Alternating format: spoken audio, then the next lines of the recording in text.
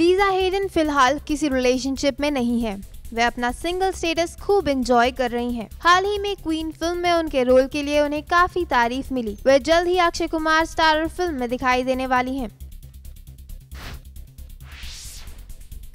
गीतकार गुलजार इस इंडस्ट्री का हिस्सा सालों से रहे हैं हाल ही में उन्हें दादा साहेब फाल्के अवार्ड मिला है। ऑस्कर, ग्रामी और फ़िल्म फेयर जैसे अवार्ड पाने के बाद भी उनकी शख्सियत में कोई बदलाव नहीं आया है। उनसे तारीफ़ पाने की ख्वाहिश हर किसी में होती है। इस मामले में विद्या बालन और रणबीर कपूर किस्मत वाले साबित हुए हैं। गुलजार ने हाल ही में विद्या और रणबीर की ये कहते हुए तारीफ़ की कि दोनों ही बहुत अच्छे एक्टर हैं।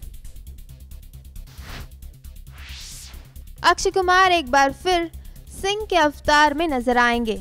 उनकी फ़िल्म सिंग इज़ ब्लिंग का पोस्टर भी रिलीज़ हो चुका है ये फ़िल्म अगले साल जुलाई में रिलीज़ होगी इस बार उनकी इस फ़िल्म को प्रभुदेवा ने डायरेक्ट किया है वैसे पिछले कुछ समय से अक्षय कुमार की फ़िल्में बहुत अच्छा काम नहीं कर पाई हैं। ऐसे में शायद अक्षय अपनी पुरानी सफलता को बुनाना चाहते हैं सोनाली बेंद्रे अब छोटे पर्दे पर कुछ ज़्यादा ही एक्टिव हो गई हैं। कुछ रियलिटी शोज़ में जज बनने के बाद सोनाली अब कलर्स के एक और शो, मिशन सपने में सूत्रधार का किरदार निभा रही हैं। उनका कहना है कि शो में कुछ सेलेब्स को तो मैं पहले से जानती थी, चाहे वे सलमान हो या रणबीर, उनके साथ काम करने में काफ़ी मज़ा आया सलमान के बारे में तो सभी जानते हैं वे कितना सोशल वर्क करते हैं इस बार जब मैं नए और यंग लोगों से मिली तो पता लगा कि वो कितने केयरिंग हैं। वरुण और सिद्धार्थ मुझे बहुत पसंद आए उन्हें देखकर लगा कि वाकई उन्हें देश की फ़िक्र है और अपनी तरफ़ से कुछ करना चाहते हैं, चाहे वे स्मॉल कंट्रीब्यूशन ही क्यों ना हो। एक्टर राजीव खंडेलवाल कार दुर्घटना में घायल हो गए हैं। हादसा उस वक्त हुआ जब वे वाटर किंगडम में अपनी फ़िल्म सम्राट एंड कंपनी का प्रमोशन कर वापस लौट रहे थे। रास्ते में उनकी कार सामने से आ रही कार से टकरा गई और वे अपना बैलेंस खोते हुए पेड़ से भिड़ गए। राजीव को फ़ौरन अस्पताल में भर्ती कराया गया, जहाँ उन्हें तीन हफ़्ते के बेड रेस्ट की सलाह दी गई है। टीवी के डैशिंग स्टार रहे राजीव खंडेलवाल की शुक्रवार रिलीज़ हुई फ़िल्म सम्राट एंड कंपनी बॉक्स ऑफ़िस पर औंधे मुँह गिरी। ज़्यादातर इंग्लिश मीडिया ने फ़िल्म की खिंचाई की और एक आध स्टार दिए। वहीं फ़िल्म की प्रमोशन भी ढंग से नहीं की गई। नतीजतन फ़िल्म पहले वीकेंड पर बमुश्किल एक करोड़ रुपए ही कमा पाई।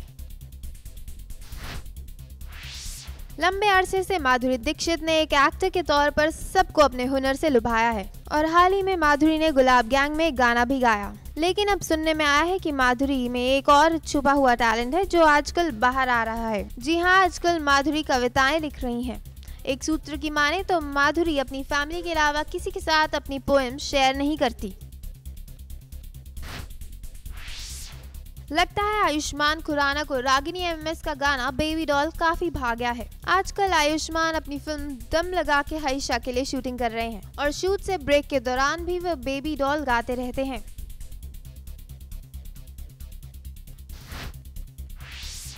विद्या बालन की बात करें तो उन्होंने कुछ समय पहले कहा था कि उन्हें साउथ इंडियन खाना बेहद पसंद है, लेकिन अब वो पंजाबी खाने की शौकीन हो चुकी हैं। उनके करीबी मित्र का कहना है कि आजकल विद्या एक अच्छे नॉर्थ इंडियन कुक की तलाश में है, जो उनके घर में उनके लिए राजमा चावल, छोले भटूरे और इसी तरह की पंजाबी क्यूजीन बना सके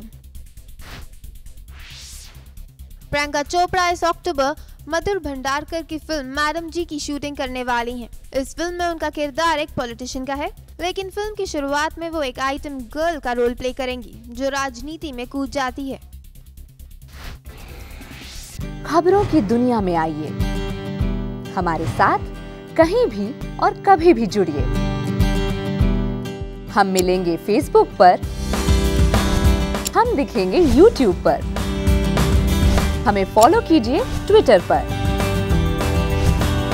खबरों के साथ बने रहिए रात दिन।